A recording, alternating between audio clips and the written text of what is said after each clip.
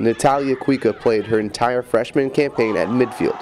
But just before the season kicked off, she was moved to center back. I was really like, I wanted to run a lot and just score and like do as much as possible, like win the games and I mean attack and score. But now it's more like making sure they don't score. Mark Krikorian saw a lot in Kuikka that made him feel that she could be able to stop her opponent from creating chances to score. She is extremely athletic, extremely competitive. Her technique is first class. Her mentality is fantastic. So she has all the makings of a very, very good defender, very good center back. Um, her willingness to do whatever it is that the team needs and go and play back there when she probably would prefer to play in a more advanced role, a more attacking role. Uh, talks a little bit about her character and about her willingness to be a good teammate.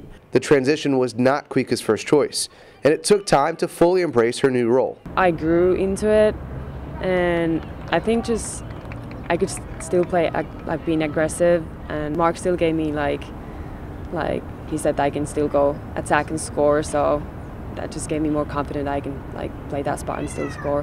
Which is a good sign for the Seminoles and Kuikka because her potential is limitless. She's really good. She's uh, she may end up being the best center back we've ever had here, and we've had some pretty good ones. Uh, kid named Grubka a little while ago, and uh, Coleman, and many, many, many others. Uh, Toni Pressley, and so on through the course of time that have been just outstanding uh, backs. But um, I think uh, Natu combines fantastic quality with the ball with great individual defending as well. So you put those pieces together and you have a heck of a player. Head coach Mark Krikorian added that he believes she could be the best center back in all of Europe and that Finland's national team will definitely benefit from this transition to the new position.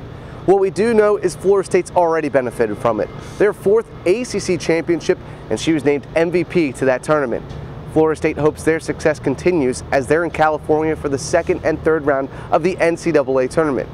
At the soccer complex, Jonathan Chilesi, Seminoles.com.